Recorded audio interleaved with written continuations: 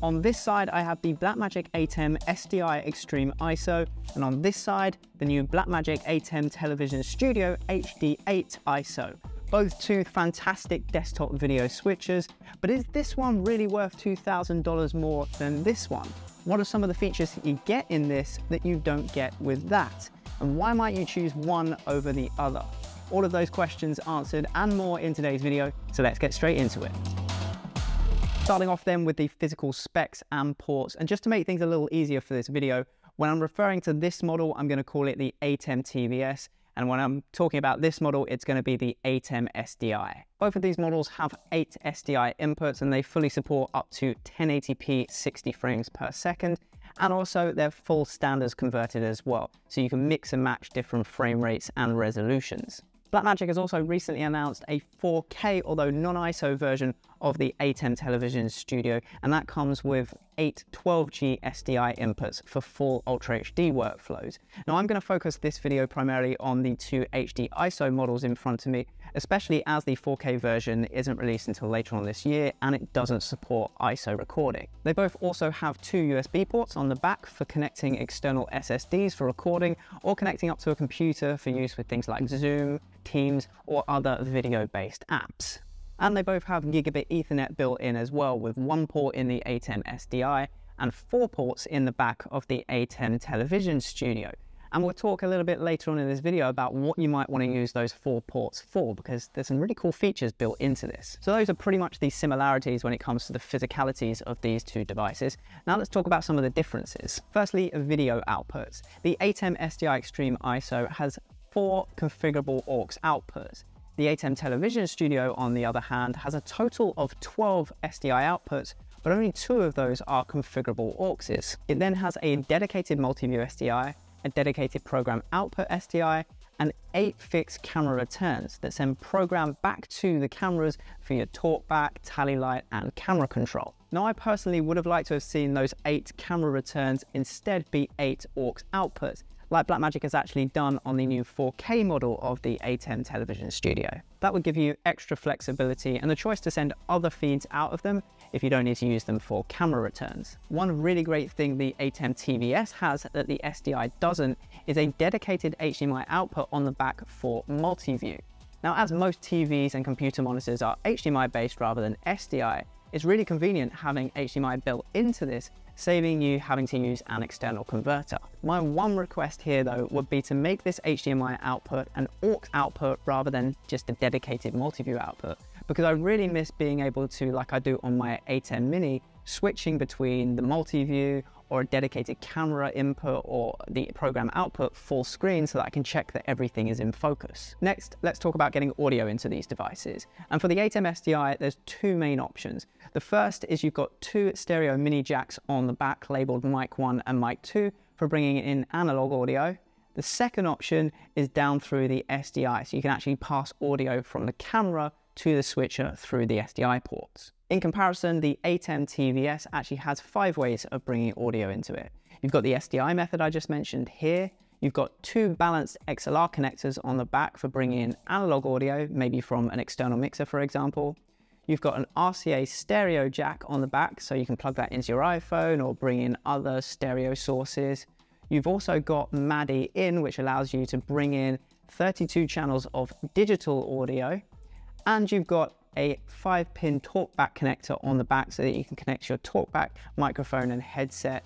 And you can actually use that talkback microphone not just for talking to your cameras or your engineers, but also on air as well. So you could use it in game commentary, for example. For audio outputs, if we look at the ATEM SDI, really the only way to get audio out of it is via the headphone jack on the back.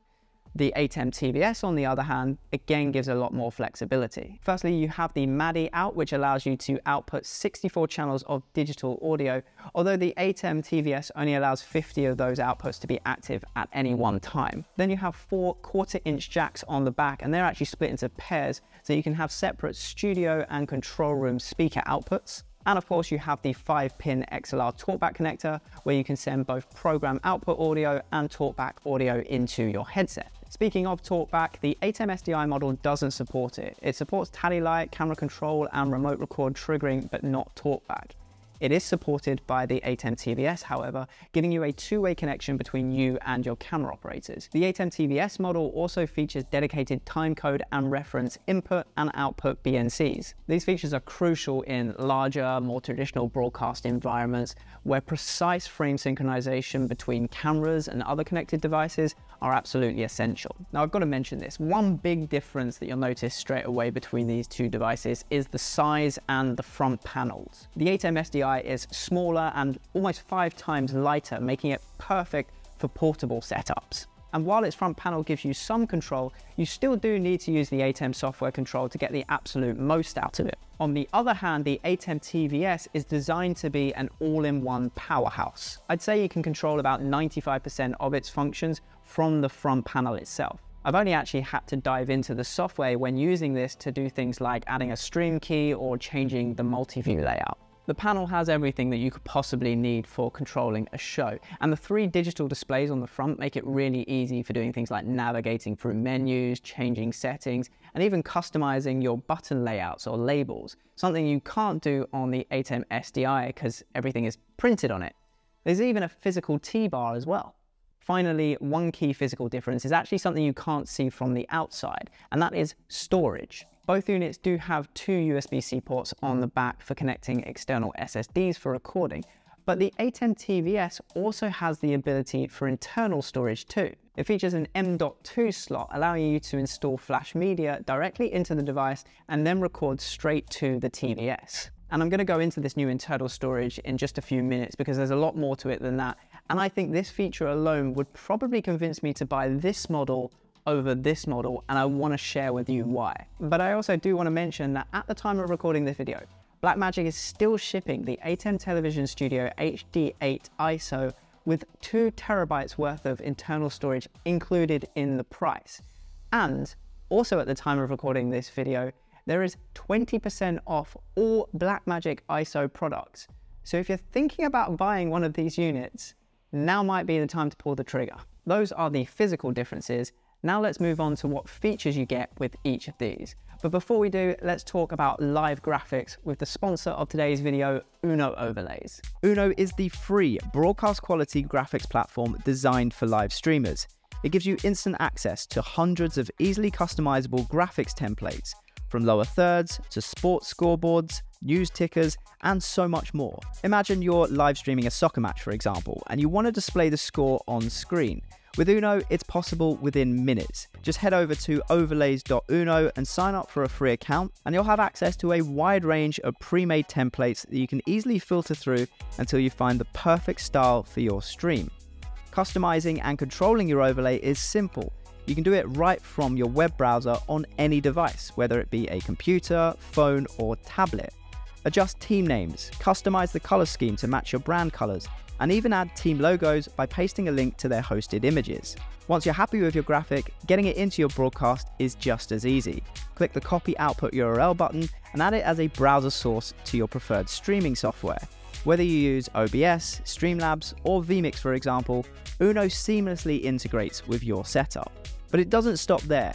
From anywhere in the world, you can update and control your graphics live, animate your overlays on and off, update scores as they fly in, all from one web page. And if you prefer physical buttons, they've got you covered too, as Uno now offers a free Stream Deck plugin that allows you to control your graphics directly from your Stream Deck device. This is just a small glimpse of the countless number of overlays available on Uno, so if you want to up the quality of your live broadcast graphics, head over to the link in my description or sign up at overlays.uno.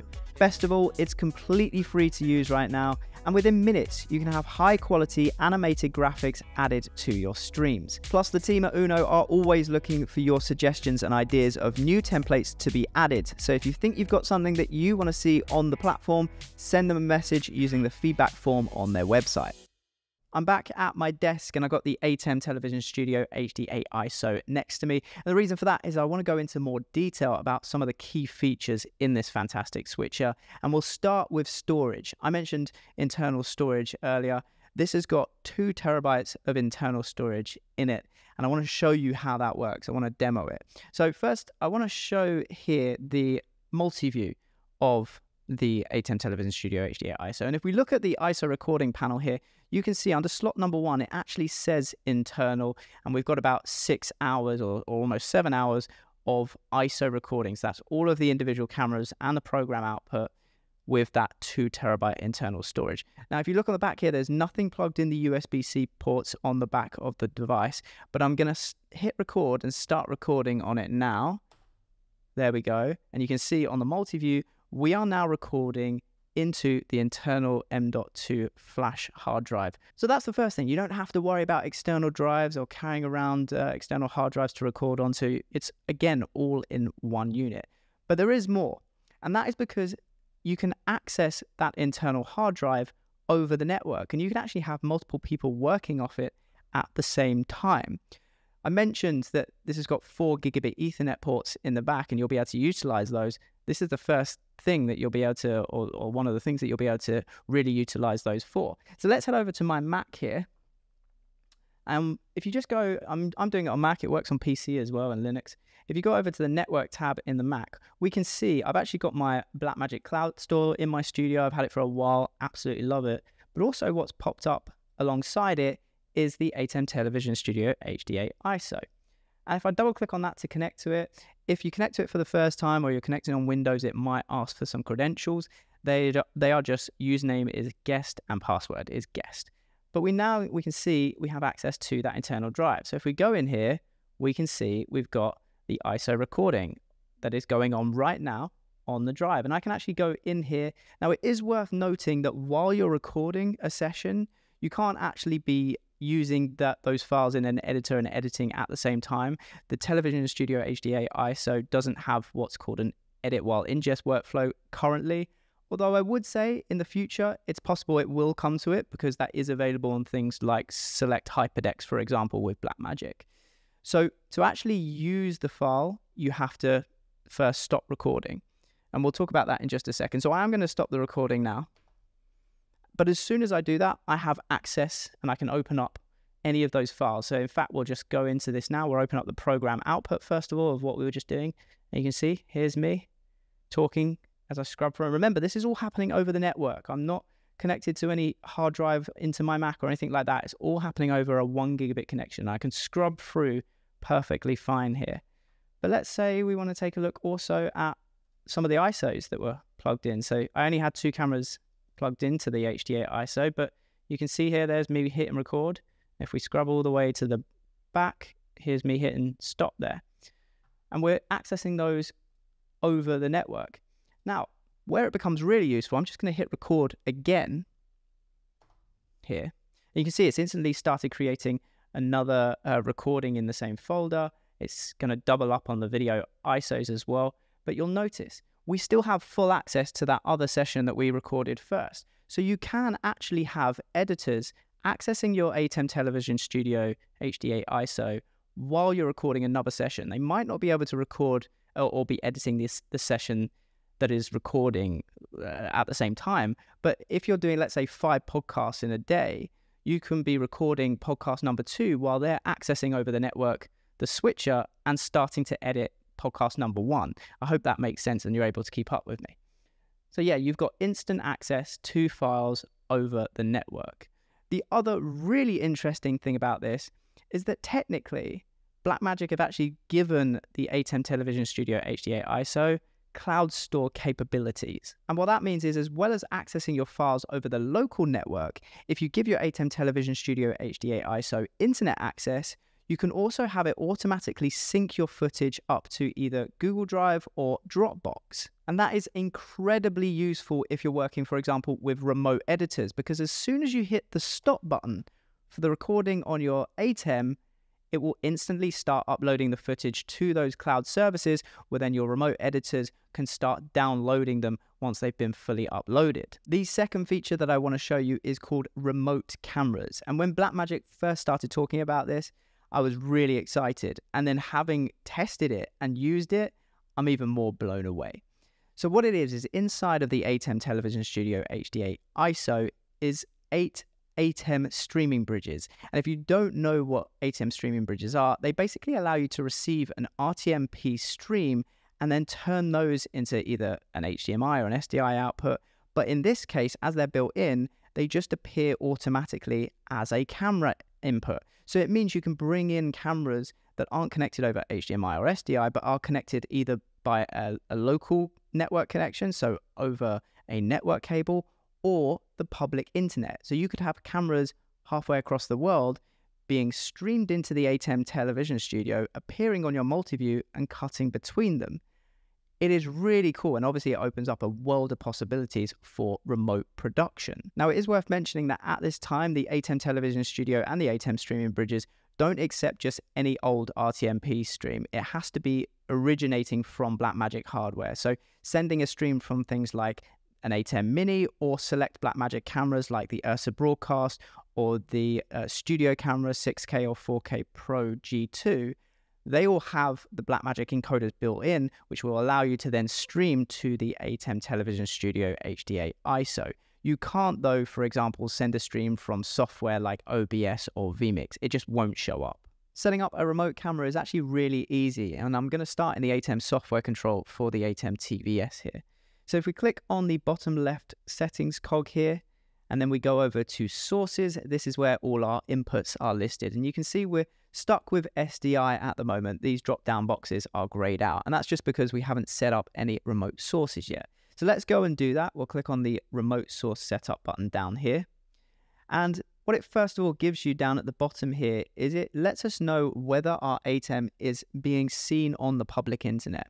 Now you might have an error in this internet status box here and that just means that you haven't opened the correct port on your router to be able to allow public internet traffic to flow through to your ATEM TVS. I'm not going to do a detailed tutorial about how to do that in this video, but if you Google it, there's plenty of information online about how to open certain ports.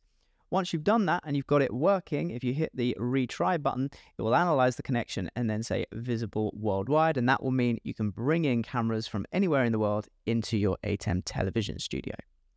Once that's working, we can now actually add our camera source. So if we click add source here, and I'm going to give mine a name. I'm actually setting up for a studio camera at 6K Pro. So I'm going to call it Studio Cam 6K Pro A. And then it would if I had a second one, it would be B, C, D, etc. Now, the code that we have on the right is our stream key. This is unique for each source that you create. If we need to change that, we can click the key icon. And that's pretty much it in terms of creating the source. Now we need to download the actual information that we're going to send to the or, or upload onto the camera so that the camera knows all these details to stream to. So we can just click this little download button here. And I'm going to save that onto my SSD that I've got plugged into my Mac here. And then I'm going to plug that into the camera and import those settings. So that's all saved. Now, a very quick tip that I like to do, you don't have to do it, is if we actually open up that file that's just been saved on the SSD, this is basically the streaming profile that the camera needs so it knows where to stream to. One thing that I personally like to do is I like to change the name here because this is what will appear on the menu in the camera. And I like to change it to something so if I'm using multiple profiles, maybe this camera is actually throughout its lifetime sending to different TV stations, I know which one's which. So I'm going to call this my home ATEM TVS. Uh, and I'm just going to put Alex on the end so I know it's mine. Going to click save on that. Again, you don't need to do this this step if uh, you know, if you don't want to, this is just a personal preference for me. With that all saved, I'm now going back to the ATEM software control and I need to assign where I want this camera to appear. So you can see our drop-down boxes are no longer grayed out. And I actually want to put this camera, this remote camera into input slot number three. So I'm going to click the drop-down list for that. And I'm going to choose that new Studio Camera 6K Pro A in there. And that is all we need to do for our ATEM software control setup. Now we need to just import the settings on the camera and start streaming. Plug your SSD directly into the camera and click on the settings icon in the top right hand corner. Go to the setup page and then scroll through all of the pages until you get to the streaming settings. Click on import settings and select the file we just created and click on import. Then we'll see it appear there We've got home ATEM TVS Alex. We've got the stream key at the bottom here, and we can change the quality that we want to stream in. Also, if you go to the next page, make sure low latency is turned on. Then when we're ready, just hit stream on. And you can see it start streaming with the data rate. Now, if we take a look at the multi-view for the ATEM TVS, you can see that our remote camera is now appearing just below me in the camera 3 slot. And you will have noticed there is a bit of a slight delay, and that's because it is coming in over the network as opposed to a direct connection. So what we're going to do next is a delay test over both the local LAN and over the public internet so that you can get an idea of what sort of delays you can expect when using remote cameras. To see what the delay is between the two cameras, I'm going to show a stopwatch on my computer screen here, and I'm just going to try and eyeball it on the screen, but I can you can pause it to see exactly what the delay is between the two cameras. So if we hit start there, I'll make sure it's in screen of both. And as I look over to the screen, that to me looks less than a second. I'd say somewhere around the 700 millisecond mark or so. Now that is the delay over the local network. Let's do a test on what the delay is when the remote camera is going over the public internet. I've now moved the camera outside. It's no longer on my local network. Instead, it is going and broadcasting over the public internet. And to make it even harder, I wanted to make this test as difficult as possible. It's not using a wired connection to the internet. It's actually using my iPhone's 5G connection. So it's about as tough a connection as you're going to get. But yet you can see here on the multi-view, it is stable. I've got an iPad with a timer on it outside and I've actually got my computer again here with a synced timer. So these two are in sync. And we can see if I just eyeball the delay here, wow, it's actually a lot closer than I thought it would be. It's still around the second mark, maybe, maybe slightly under a second, I think, possibly. Uh, we'll freeze the frame and see, and I'll put it on screen. But that is still incredibly impressive. And as you can see, there's no breakups or anything like that. And that's over a 5G connection. So the possibilities that this type of remote camera capabilities opens up is really, really impressive, and I'm looking forward to seeing how people will use it. The final thing I want to mention about the remote camera function is even though your camera might be on the other side of the world, sending its video and audio back via the public internet, it still has a two way connection with the switcher. So that means the camera is sending back audio and video to the switcher, but the switcher is also sending to the camera ancillary data. So you still get the ability to have a tally light. So when the director cuts to the camera, no matter where you are in the world, the talent and the operator behind the camera still sees the red light. You get camera control and color calibration. So again, a colorist in a completely different country could be controlling that camera no matter where in the world it is. And you also get return audio as well. Now, there are a few little tweaks that I would like to see Blackmagic bring to the return audio because currently it's just sending back to the camera pure program output. And the problem with that is, let's say you have a reporter on the other side of the world standing there with a microphone and they've got their headphones plugged into the camera. When they speak, their audio goes down the microphone and then gets sent back to the switcher. But because the switcher is returning pure program output to the camera as well, it means that their microphone audio gets sent back to them with a delay, which is obviously very off putting. So I'd love for Blackmagic to uh, bring the option for it to be a mix minus of the program output that is returned to that camera so that you'd be able to speak and you wouldn't hear yourself back, but you'd hear the rest of the program audio.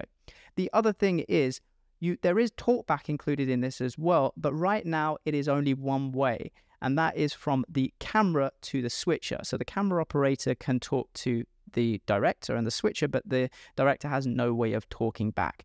I don't know if Blackmagic are going to change that. I don't know if that's just a bug. But these things are very new. They've only just been introduced, and Blackmagic have said that they are going to continue to develop them. So hopefully, this is a couple of things that we see change in the future. This video is already getting super long and I could talk for hours more about all of the features in the ATEM TVS HD8 ISO. But I want to kind of wrap it up by going back to the start where we were comparing the ATEM SDI Extreme with the TVS model. And so, where do I think it makes sense for you to purchase one over the, or the other, or to use one or over the other? The ATEM SDI Extreme is obviously incredible in the fact that it is so portable. It is small, it is lightweight, it still is feature packed and feature rich. It's a fantastic device to take or to use if you're going to be moving a lot from location to location. You, you, you, still need that very powerful switcher. And I think that's where people will probably gravitate more to that switcher in things like smaller setups, but where portability is key, where you can put it in a bag, uh, or you can mount it in a little uh, flight case and, and have like something that just opens up as one package where you've got the screen and the ATEM. I've seen a lot of those before. But then turning our attention to the ATEM TVS, I think that is where if you can afford the extra money, it is well worth it because you get all of those additional features that I've spoken about in this video, and they really do make a difference. But also, you get an incredibly powerful all in one. And I think that's the key here. Whereas with the Extreme, you do need a laptop to still do quite a lot of things. You can do most of the things on the front face or actually on the device itself here.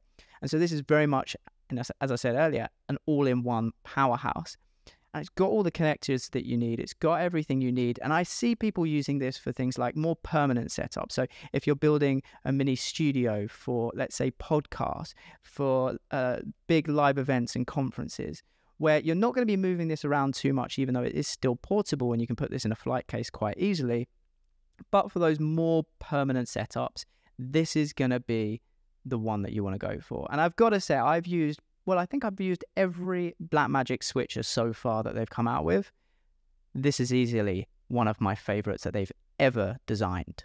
Blackmagic, if you're watching this, bring out a 16, double the number of inputs, and hey, take the, take those aux outputs, uh, take those outputs and turn them into aux outputs. But more importantly, create a 16 input version of this, and it will be your bestseller. Just putting it out there. If you've enjoyed today's video, please do click the subscribe button. Make sure you join me here for future videos about tech and broadcast kit. Also, if you found this video useful, please do give it a thumbs up. It really helps uh, YouTube then suggest the video to other people who might find it useful as well. So I'd appreciate you just taking that. If you've made it to the end, just take a second, hit that thumbs up button. Also, if you have any questions about either the ATEM TVS or the ATEM SDI or any other Blackmagic ATEM models, or any questions on today's video, put them in the comments below. I read through all of them and will reply to as many of those as possible.